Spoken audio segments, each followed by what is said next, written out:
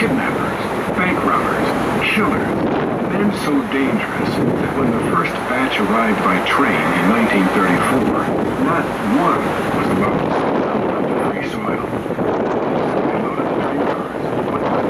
cars, and floated them out to the island with the inmates chained up inside. Rumor was that if a man died on Alcatraz, his corpse would leave the same way, a stone cold dead, not in chains. With men like these, you could never be too careful. The building you see on top of the hill was the inmate's new home, the Alcatraz Cell House. One described it as a tomb of living souls. Some would stay for a year, others for 20, 25 years or more. To get an idea of the accommodations inside, go ahead and reach your arms out as far as you can from side to side. That's how wide an Alcatraz cell is, 5 feet across.